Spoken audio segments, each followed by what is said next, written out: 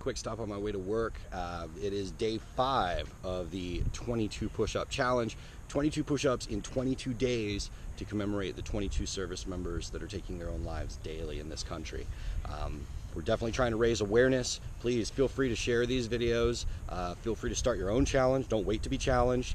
Get other people involved, talk about it, and uh, Guys, if you need someone to talk to, there's always someone to reach out to. You can get a hold of me through Facebook. I'm happy to talk to anybody at any time.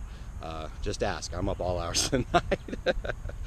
so anyway, um, this is Memorial Park in Jacksonville. Um, yet another one of my favorite spots in town. Uh, absolutely beautiful. It's right on the St. Johns River. That's what's behind me. And over here, get that in the shot. Uh, that is a beautiful memorial uh, to folks who lost their lives in World War One uh, from the state of Florida.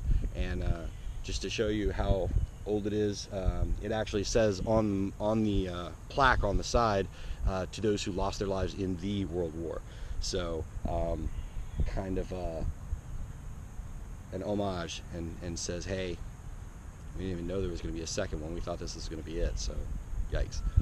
Anyway, uh, we're getting ready to do some push-ups. Uh, I thought this was a neat spot to do it. If you can think of some other cool places for me to do this in Jacksonville, by all means hit me up. I'm ready to travel a little bit. We uh, live in one of the biggest cities in the country, and uh, there are lots of amazing spots that people who've lived there, lived here forever, don't even know exist. So uh, hit me up. All right, let's do this. 22 push-ups. We go right back over here and make it happen.